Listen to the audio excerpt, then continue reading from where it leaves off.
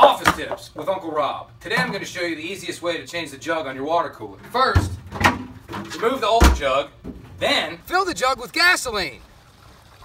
Then, put the jug back on the water cooler. Then, zip tie both nozzles down so that gas leaks out. Then, pour a trail of gas to the water cooler. Then, light a flare,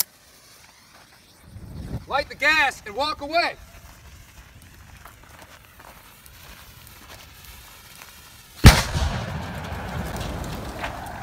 Then, drink your desk whiskey like a real man.